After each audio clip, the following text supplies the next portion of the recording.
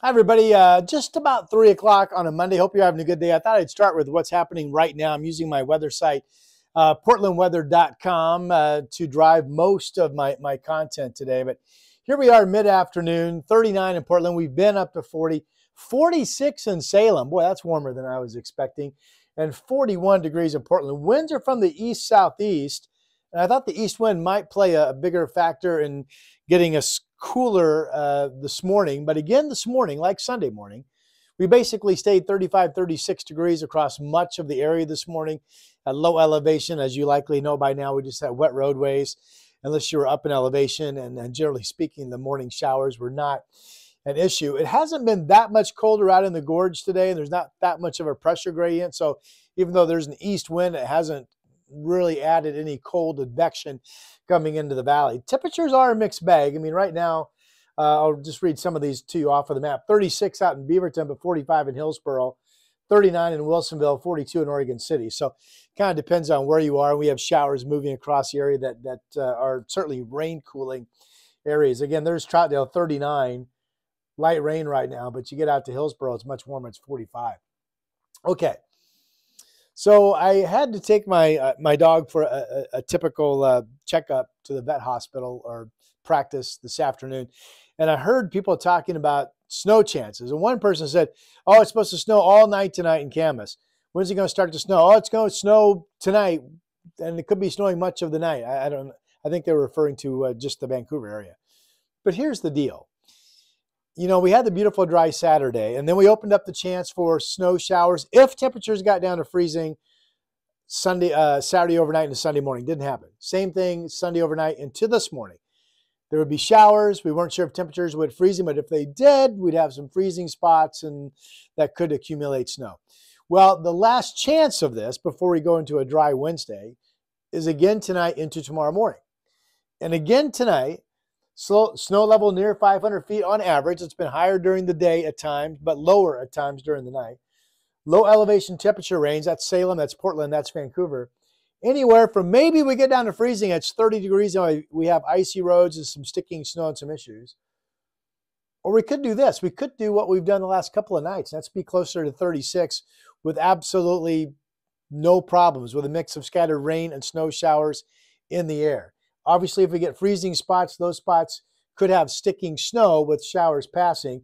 And there's enough moisture that if anybody would get down to freezing and sit there for a few hours, there could be one to two inches in localized areas tonight. Of course, if we stay above freezing, it's going to be like we've seen the last couple of mornings, just wet and ice free. And unfortunately, as a forecaster, if I had to say anything, if you had to say you have to pick a side or a temperature and stay with it, if I had to pick, I would pick 35 36. I think that's the most likely scenario tonight that once again, low spots stay above freezing. We have a mix of rain and snow passing, and we have very little issues in, unless you're up in elevation. Now, with that said, I can't stand here and guarantee that we're not going to get down to 30 or 32. So that's why we keep throwing this out there as a possibility.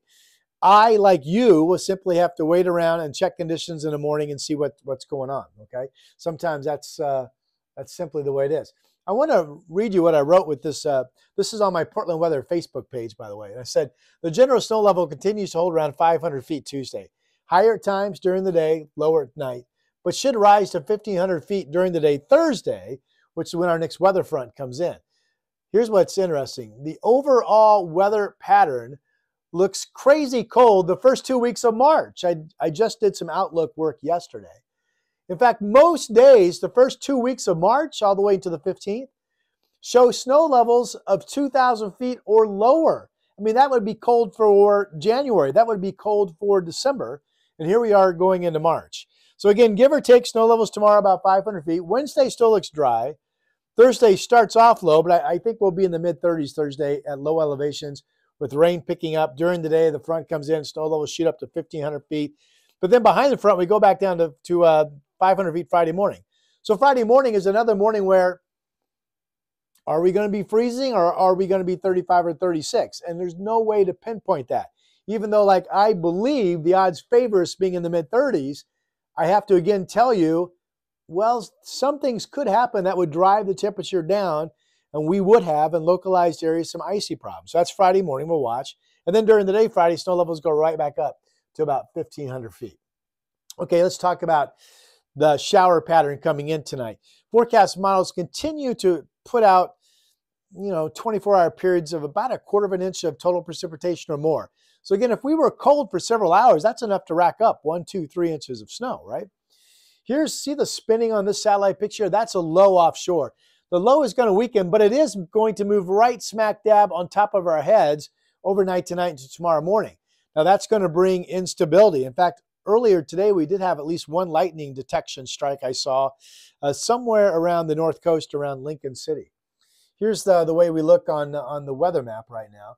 See all the speckled clouds? That's cold cumulus cloud activity. So the low comes in.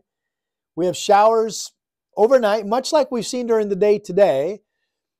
The winds actually go more to the southwest, which would make it even that much tougher to get down to freezing. So again, odds favor us staying above freezing tonight, but we'll have to check conditions tomorrow morning to make sure. We have scattered showers that continue during the day, and because we're going to be unstable, that opens the door for snow mixing with rain. Opens the door for graupel. That's a little ice pellets where rain comes down and kind of mixes with the snowflake, and you get a little ice pellet. Opens the door for just straight up hail because it wouldn't take much convection to bounce water droplets up into the freezing level, and then that's ice chunks, and we call that hail as a fall. So that's all still a possibility with these low snow levels and the scattered shower pattern that will be, in fact, continuing during the day Tuesday. Then we go dry. Let's talk a little bit more about roads and conditions. So they had a little bit more snow last night out in the gorge. It's been colder out there. Temperatures have been in the 30s to about 40, and not a lot colder, but at night they've been slipping into the 20s. Hood River was 28 this morning, I think it was, or 27. You'll be about the same tonight. So if you're out in the gorges, there's a decent chance you get some more snow. I had a report that Corbett um, the other night picked up four inches of snow, for example, at elevation about 1,200 feet. So that continues to be possible. There's a beautiful, well, it's so pretty. That's my Elk Ridge golf course camera out the, on the Carson side, the Washington side of the uh, gorge, looking back at the snow and the hills in Oregon. It's really pretty. But a reminder, a reminder simply that we will have the ongoing threat to get some snow uh, in the gorge tonight.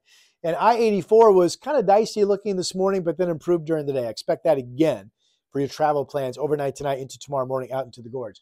The Sunset Highway early this morning was completely snow covered, but look at them. They've warmed up to 39 degrees. They've had enough dry activity that's melted off the highway.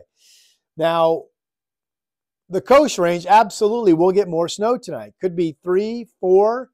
Worst case scenario will be six, probably more like three to four inches. But I expect many of the coast range highways, even down to 500 feet, to be snow covered in the morning. So if you want to avoid that, then delay your trip uh, more like midday or so, and you'll find improving conditions over the coast range highways tomorrow morning. Okay. Obviously, Cascade Passes continue to be snow covered. The forecast, they've picked up, um, I think it's 14, 15 inches of snow up there between Timberline and Meadows on average over the last 24 hours. The snowpack, I wrote this down. The snowpack, which remember at the end of January was down to 76% of normal, is now up to 88% of normal. Where they measure the depth at 5,400 feet off of Timberline Road, they're back to having 121 inches on the ground. So the snowpack looks really healthy right now, 88% of normal. And uh, with a cold first half of March, you would think we're likely going to get that snowpack up back into the 90 plus percent range. So that's good news. Okay.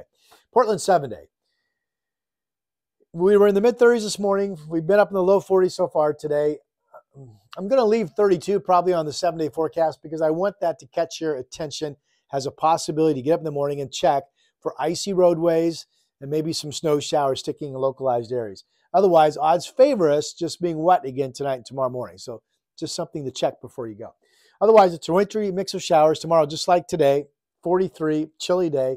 Wednesday's dry. 28 in the morning. If we have showers well into Tuesday evening, which we may, the roads could freeze with them still being wet. We'd have icy spots Wednesday morning, although it would be dry.